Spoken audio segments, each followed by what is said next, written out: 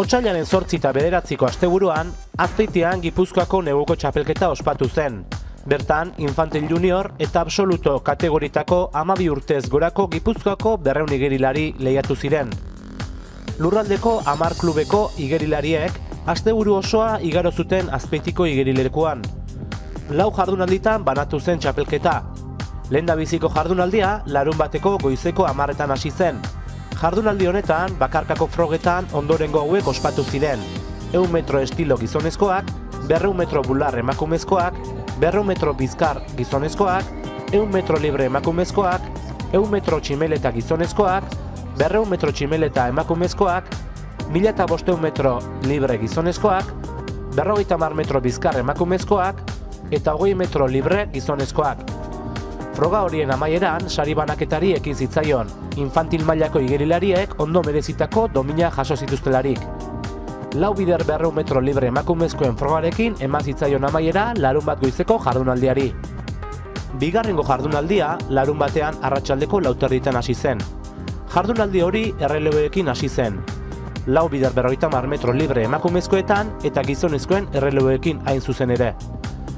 Ondoren, etorri ziren bakarkako frogak, eun metro estiloan emakumezkoena, berreun metro bular gizonezkoena, eun metro libre mutilenak, berreun metro bizkar emakumezkoak, eun metro tximeleta emakumezkoak, berreun metro tximeleta gizonezkoak, lareun metro libre emakumezkoak, berrogeita mar bizkar gizonezkoak, eta berrogeita mar metro libre emakumezkoak.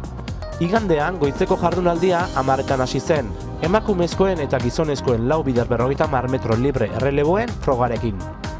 Bakarkako froga berriz, ondorengo hauek izan ziren, berreun metro libre emakumezkoak, berreun metro estilo gizonezkoak, eun metro bizkar emakumezkoak, eun bular gizonezkoak, lareun metro estilo emakumezkoak, lareun metro libre gizonezkoak, berrogeita mar metro bular emakumezkoak, eta berrogeita mar metro tximeleta gizonezkoak. Igandeko arratsaldeko lauterritan hasi zen Gipuzkoako neguko txapelketako laugarren eta azken jardunaldia. Berreun metro libre gizonezkoen frogarekin hasi zen. Ondoren etorri zen berreun metro estilo emakumezkoak, eun metro bizkar gizonezkoak, eun metro braza emakumezkoak, lareun metro estilo gizonezkoak, lareun metro libre emakumezkoak, berrogeita mar metro braza gizonezkoak, eta berrogeita mar metro tximeleta emakumezkoak. Amaieran, txapelketako igerilari eta talde honenei sariak banatu zitzaizkien. Guztira, bi egun eta lau jardunaldietan zehar, berrogeita sei frogetan lehiatu ziren Gipuzkoako igerilariak. Hogeita amasei bakarkako frogetan, eta amar erreleboetan. Asteburu luze eta nekagarri honen amaieran, igerilari ugari beraien esfortzuaren emaitza ezin berekin joan zen etxera.